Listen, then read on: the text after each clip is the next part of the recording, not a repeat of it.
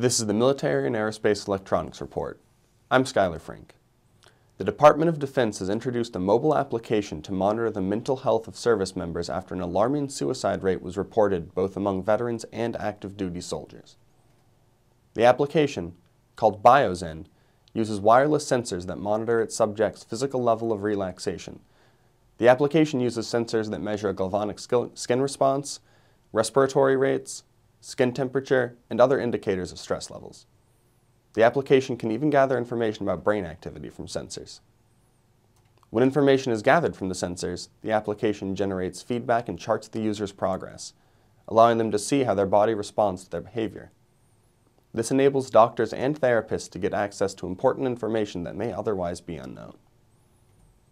The release of this application comes just after the results of two different studies, one on veteran suicide rates, and another on service members were released. The Department of Veteran Affairs announced 22 U.S. military veterans commit suicide each day, and the U.S. Army reported that 325 Army personnel, both active and non-active, committed suicide in 2012, a number greater than the combat death total of U.S. forces in Afghanistan.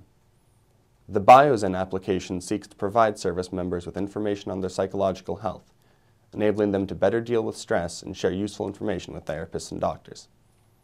For the Military and Aerospace Electronics Report, I'm Skyler Frink.